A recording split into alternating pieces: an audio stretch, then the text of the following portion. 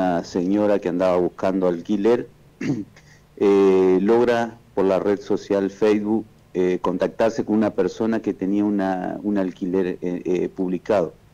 Es ahí donde empiezan el inicio de, de las tratativas, las charlas, y esta persona que alquilaba le pide el número telefónico para, para seguir con, con la negociación ¿no? de, ese alquiler. Es así que le pide una, una seña, un adelanto de 10 mil pesos eh, para reservársela hasta que ella pueda ir a verla, ¿no es cierto? Todo, todo el ardí que utilizan los, los estafadores para poder sacarle el dinero. Entonces esta mujer accede, eh, le da 10 mil pesos, le transfiere a una cuenta, 10 mil pesos, la cuenta que es suministrada por, por el estafador, y eh, es así que más tarde, no era más tarde, le vuelve a llamar eh, solicitándole más dinero porque se encontraban este, refaccionando la, vivienda, trabajos de pintura, todo le, hacía otro cuento más el estafador.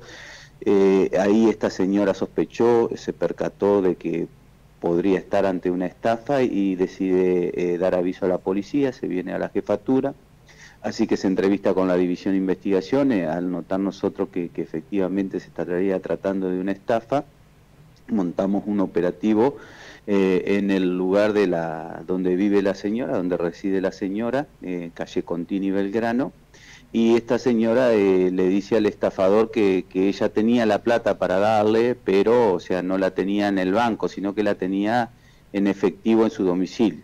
Es así que el estafador accedió a irse hasta el, hasta el domicilio a buscar el dinero y es ahí donde es aprendido por personal policial.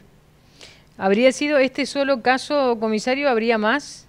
Eh, denunciado tengo este solo caso, eh, así que se trataría de este delito de estafa en esta situación, ¿no? Eh, si hubo algún otro, no, no fue denunciado. ¿Cuál es la situación hoy por hoy del estafador? La situación eh, procesal del estafador se encuentra detenido en esta jefatura eh, a disposición de la justicia.